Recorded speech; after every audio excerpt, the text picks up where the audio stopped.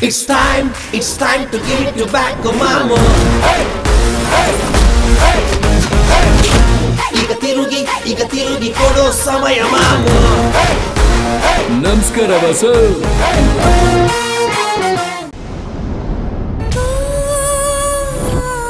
ನಿಮ್ಮ ಮಗಳು ನಿಮ್ಮ ಅಳಿಯ ಇಬ್ರು ಮನೆ ಬಿಟ್ಟು ಹೋಗಿದ್ದಾರೆ.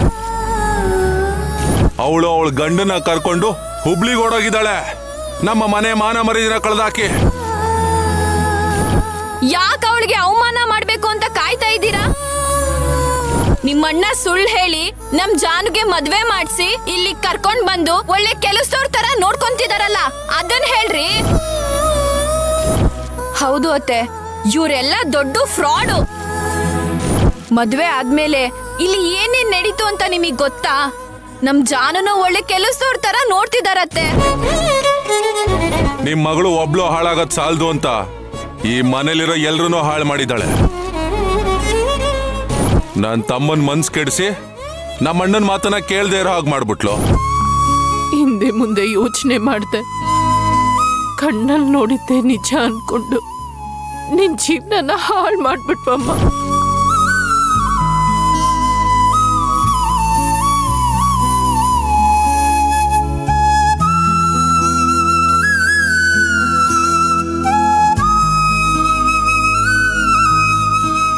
ಸ್ಫೂರ್ತಿ. ಏ ಸ್ಫೂರ್ತಿ. ಏ ಅವಳ ಫ್ರೆಂಡ್ ಬರ್ತ್ಡೇ ಅಂತೆ. ಅದಕ್ಕೆ ಗೆಟ್ ಟುಗೆದರ್ ಪಾರ್ಟಿಗೆ ಹೋಗಿದ್ದಾಳೆ. ಏನ? ಗೆಟ್ ಟುಗೆದರ್ಗ ಹಾ. ಏಯ್ ಯಾರನ್ ಕೇಳ ಹೋದ್ಲು ಅವಳು? ಸ್ವಲ್ಪನ ರೆಸ್ಪಾನ್ಸಿಬಿಲಿಟಿ ಇಲ್ಲ ಡಿಸಿಪ್ಲಿನ್ ಇಲ್ಲ. ರೂಮಲ್ಲಿ ಹಂಗೆ ಪುಸ್ತಕಗಳನ್ನೆಲ್ಲ ಹರಡಿ ಬಿಸಾಕ್ ಹೋಗಿದ್ದಾಳೆ ಅವಳು. ನೆಕ್ಸ್ಟ್ ವೀಕು ಸೆಮಿಸ್ಟರ್ ಎಕ್ಸಾಮ್ ಇದೆ. ಎಕ್ಸಾಮ್ ಇಟ್ಕೊಂಡು ಪಾರ್ಟಿಗೆ ಹೋಗಿದ್ದಾಳೆ ಅವಳು. ಉದ್ಧಾರ ಆಗದೆ ಇರೋದಕ್ಕೆ ಏನೇನು ಮಾಡಬೇಕೋ ಅದನ್ನೆಲ್ಲ ಮಾಡ್ತಾ ಇದ್ದಾಳ ಅವಳು. ಏಯ್ ದೇವಕಿ ಅವಳು ಬರ್ತಿದ್ದ ಹಾಗೆ ನೀನು ಅವಳಿಗೆ ವಾರನ್ ಮಾಡು. ಬರ್ಲಿ ಇವತ್ತು ಮನೆಗೆ ಅವಳು. ಬರ್ತಡೇ ಪಾರ್ಟಿಗೆ ಹೋಗೋಷ್ಟು ದೊಡ್ಡವಳಾಗಿದ್ದಾಳ ಅವಳಿಗಾಗ್ಲೇ ಯಾಕೆ? ಹೋದ್ರೆ ಏನಿವಾಗ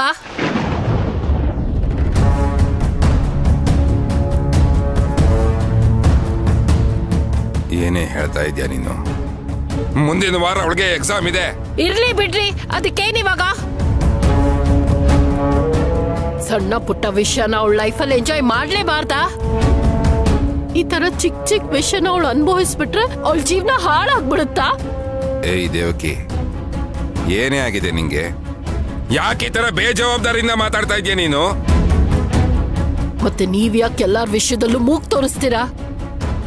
ನಾನೇ ಹೋಗ್ಬಾ ಅಂತ ಕಳಿಸ್ದೆ. ಇವಾಗ ಅದ್ರಲ್ಲಿ ಏನ್ ತಪ್ಪು? ಅವ್ರವ್ರ ಜೀವನನ ಅವ್ರವ್ರಿಗೆ ಬದುಕೋಕ್ ಬಿಟ್ಬಿಡಿ. ಕಂಟ್ರೋಲ್ ಮಾಡ್ತೀನಿ ಅನ್ನೋ ಹೆಸರಲ್ಲಿ ಅವ್ರ ಲೈಫ್ನ ಏನಾದ್ರೂ ಹಾಳು ಮಾಡಿದ್ರೆ ನಾನ್ ಸುಮ್ನೆ ಇರಲ್ಲ. ನಾನು ಹಾಳು ಮಾಡಿದ್ದೀನ?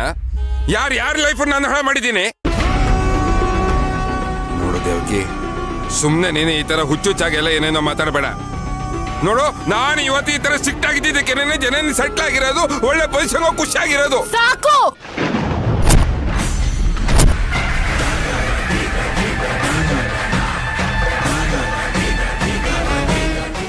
ಸಾಕು.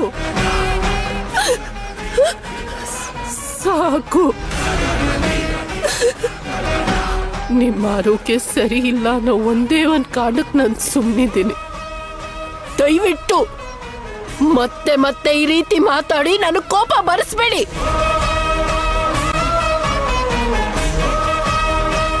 ಅತಿ ಪ್ಲೀಸ್ ಸುಮ್ಮನೆ ಇರಿ.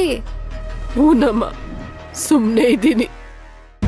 ಇಷ್ಟು ವರ್ಷ ಇವ್ರು ಮಾಡೋ ಎಲ್ಲ ಕೆಲ್ಸನೂ ನೋಡ್ಕೊಂಡು ಮೌನವಾಗೇ ಇದ್ದೀನಿ.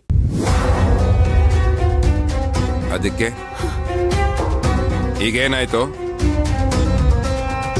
ನೋಡು ದೇವಕಿ, ನಾನು ಇದುವರೆಗೂ ತಗೊಂಡಿರೋ ಡಿಸಿಷನ್ಸು ಯಾವುದು ತಪ್ಪಾಗಿಲ್ಲ. ಎಲ್ಲದೂ ಸರಿಯಾಗೇ ಇದೆ. ಏನಂದೆ ನೀನು?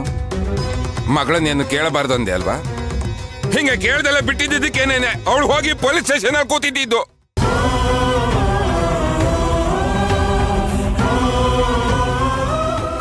ಅಪ್ಪಿ ಅವತ್ತು ಧರ್ಮರಾಜ್ ಸರ್ ಇಲ್ದಲೇ ಇದ್ದಿದ್ರೆ ನಮ್ಮನೆ ಮಾನ ಮರ್ಯಾದೆ ಏನಾಗ್ತಿತ್ತು ಅಂತ ಯೋಚನೆ ಮಾಡೆ.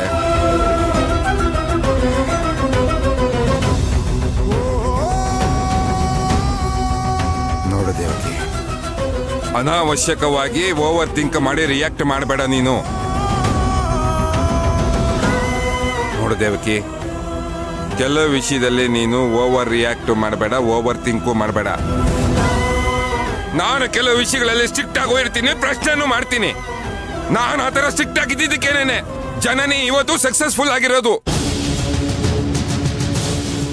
ಇವಳು ಅದೇ ತರ ಅದರಲ್ಲಿ ಅರ್ಧನಾರು ಸಕ್ಸಸ್ಫುಲ್ ಮಾಡೇ ಮಾಡ್ತೀನಿ.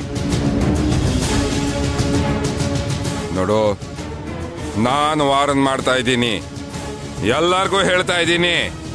ಇನ್ನು ಮುಂದೆ ಇವಳು ನನ್ನ ಪರ್ಮಿಷನ್ ಇಲ್ದಲೆ ಮನೆಯಿಂದ ಆಚೆ ಹೋಗೋ ಹಾಗಿಲ್ಲ. ಇದು ನನ್ನ ಡಿಸಿಷನ್ ಮತ್ತಿದೆ ಫೈನಲ್ ಏ ನಂದು. ಅದಕ್ಕೆ ಅಣ್ಣ ಏನ್ ಮಾಡಿದ್ರು? ಯಾಕೆ ಹೀಗೆಲ್ಲ ಮಾತಾಡ್ತಿದ್ದೀರಾ? ಅಯ್ಯೋ ಈ ತರ ಮಾತಾಡಿ ಮಾತಾಡಿನ. ಆ ಮನುಷ್ಯ ನನ್ನ ಮಗಳ ಜೀವನ ಹಾಳು ಮಾಡ್ಬಿಟ್ರು ಅದಕ್ಕೆ ಹಾಳು ಮಾಡ್ಬಿಟ್ರು. ಏನಾಯ್ತಮ್ಮ? ಅಂತದ್ದೇನಾಯ್ತು ಅದಕ್ಕೆ ಎಲ್ಲ ಗೊತ್ತಿದ್ದು ನನ್ನಿಂದ ಏನು ಮಾಡಕ್ಕಾಗ್ತಿಲ್ಲ. ಅಯ್ಯೋ.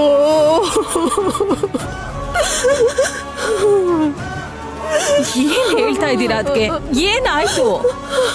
ಅಳ್ಬೇಡಿ ಅದಕ್ಕೆ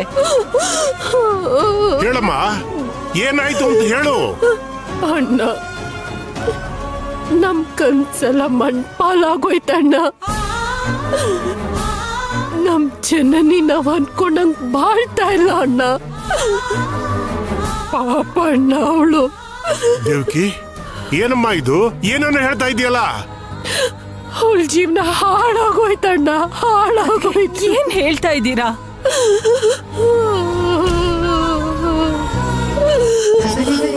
ಅತ್ತೆ ಪ್ಲೀಸ್ ಅಳ್ಬೇಡಿ. ಸಮಾಧಾನ ಮಾಡ್ಕೊಳ್ಳಿ.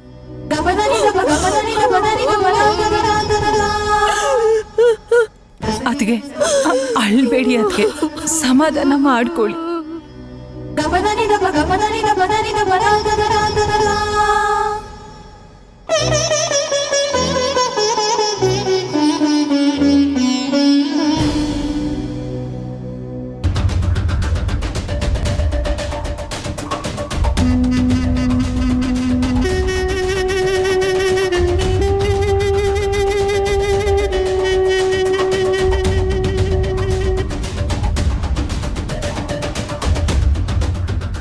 ಊಟ ಮಾಡ್ದೇನಪ್ಪ? ಹ್ಞೂ ಅಣ್ಣ ಮಾಡಿದೆ. ಹುಬ್ಳಿಗೆ ಹೋಗ್ಬೇಕಲ್ವಾ? ಯಾವಾಗ ಹೋಗ್ಬೇಕಣ್ಣ? ಅಲ್ಲಪ್ಪ ನೀನು ನಂಬಿ ಹುಬ್ಳಿಲಿ ಅಷ್ಟು ದೊಡ್ಡ ಜವಾಬ್ದಾರಿ ಕೊಟ್ಟೆ. ನೀನು ನಿನ್ನ ಹೆಂಡತಿ ಮಾತನ್ನು ಕೇಳ್ಕೊಂಡು ಅಲ್ಲಿರೋರಿಗೆ ಯಾರಿಗೂ ಹೇಳ್ದೆ ಕೇಳದೆ ಅಲ್ಲಿರೋದನ್ನೆಲ್ಲ ಹಾಗೆ ಬಿಟ್ಬಿಟ್ಟು ಇಲ್ಲಿಗೆ ಬಂದ್ಬಿಟ್ಟೆ. ನಾನು ಆ ಮ್ಯಾನೇಜರ್ಗೆ ಫೋನ್ ಮಾಡಿಬಿಟ್ಟು ಬೈದೆ. ಈ ಥರ ಆದರೆ ನಮ್ಮ ಹತ್ರ ಕೆಲಸ ಮಾಡೋರು ನಮಗೆ ಮರ್ಯಾದೆ ಕೊಡ್ತಾರೇನಪ್ಪ? ನೀನೇ ಹೇಳು. ನೋಡು ಸದ್ಯಕ್ಕೆ ನೀನು ಅಲ್ಲಿಗೆ ಹೋಗೋದು ಬೇಡ. ನಾನು ಆ ಮ್ಯಾನೇಜರ್ಗೆ ಫೋನ್ ಮಾಡಿ ಹೇಳಿದ್ದೀನಿ ಸ್ವಲ್ಪ ಬದಲಾವಣೆ ಮಾಡ್ಕೋ ಅಂತ. ಅದನ್ನೆಲ್ಲ ಮಾಡಿ ನನಗೆ ಫೋನ್ ಮಾಡ್ತಾನೆ. ಆಮೇಲೆ ಹೋಗುವಂತ ಸರಿನಾ? ಸರಿ ಅಣ್ಣ. ಸರಿ. ನೀನು ಹೋಗಿ ನಿದ್ದೆ ಮಾಡು. ಹ್ಞೂ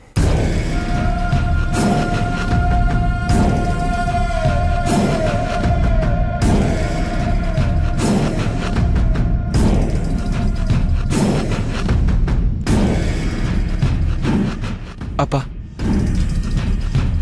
ಏನ್ರಪ್ಪ? ಎಲ್ಲರೂ ಒಟ್ಟಿಗೆ ಬಂದ್ಬಿಟ್ಟಿದ್ದೀರಾ?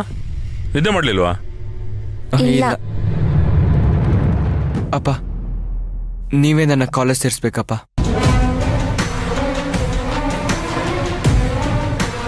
ಅಪ್ಪ ನಾನು ಅಮ್ಮನ ಹತ್ರ ಸ್ಟ್ರಿಕ್ಟಾಗಿ ಹೇಳ್ಬಿಟ್ಟೆ ಅಪ್ಪ. ತಾತನ ಆಸ್ತಿ ನಿಮಗೆ ಕೊಡಬೇಕು ಅಂತ.